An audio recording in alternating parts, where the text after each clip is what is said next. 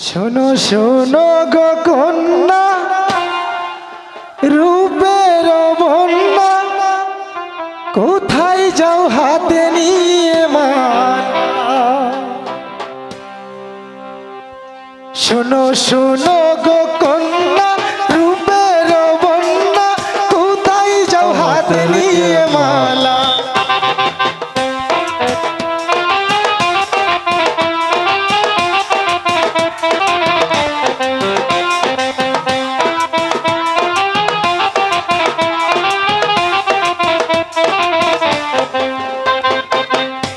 তোমাকে যেদিন প্রথম দেখেছে আমার মায় এমন একটা লক্ষ্মী মেয়ে বউ বানাইতে চায়।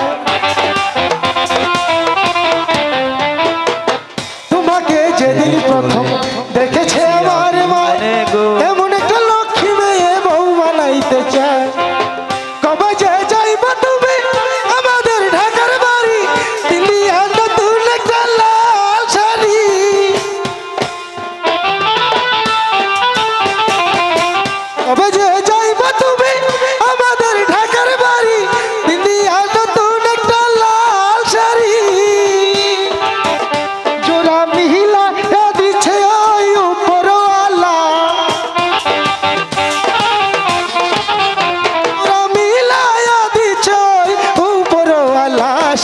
শুনো গো কন্যা রূপের বন্যা কোথায় যাও হাত নিয়ে মালা? শুনো গো কন্যা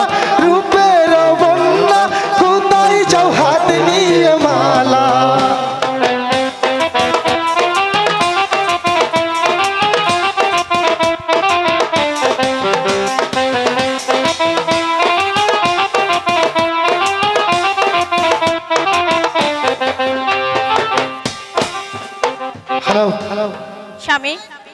বলো প্রিয়ে তোমার রান্না বান্না শেষ হয়েছে প্রিয়ে?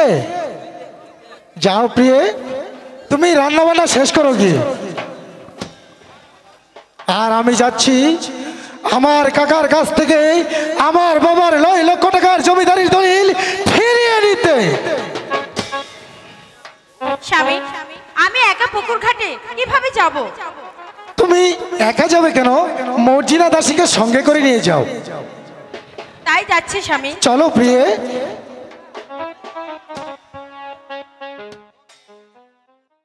তোমার মুখখানা এত মলিন দেখা যাচ্ছে কেন? বলো প্রিয়ে তোমার কি হয়েছে তুমি বলো আমাকে খুলে বলো।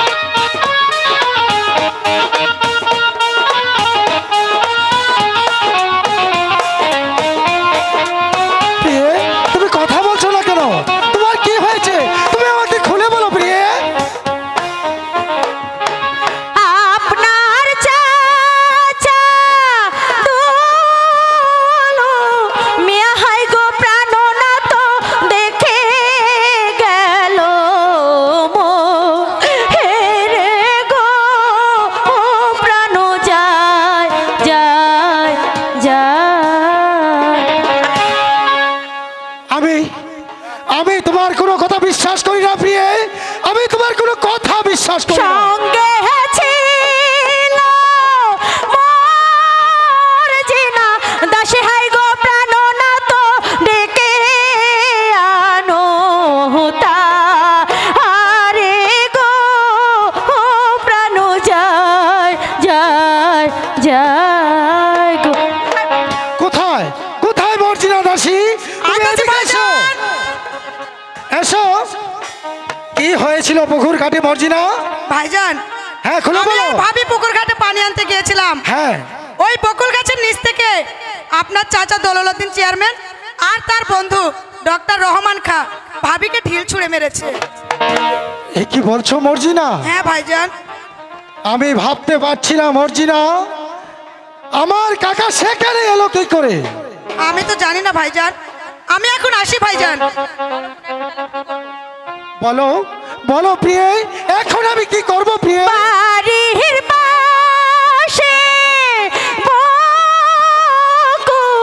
গাছ হয় গো প্রাণ না তো কেটে ফেলো তুমি গো ও প্রাণ যায় যায় যায় রে। হ্যাঁ প্রিয়ে আমি ওই বকুল গাছ কেটে ফেলব। কিন্তু আমি গাছ কাটার লোক পাবো কোথায় প্রিয়ে বাড়ির পাশে মানিক আছে গো তো ডেকে আনো তারে গো ও প্রাণ যায় যায় যায়। তুমি কিছু ভেবো না প্রিয়ে আমি মালিককে দিয়ে ওই বকুল গাছ কাটাবো প্রিয়ে। এক বালিশে দুইটি মাথা। ছোট কইরা কেন কোন গো কথা? এক বালিশে দুইটি মাথা। ছোট কইরা কেন কোন গো কথা? ওরে ঘুমাইলা ঘুমাইলা জিয়া ভাই। ওরে পাহান খাইলা না। ঘুমাইলা ঘুমাইলা জিয়া ভাই, পাহান খাইলা না। এক বালিশে দুইটি মাথা, ছোট কইরা কেন কোন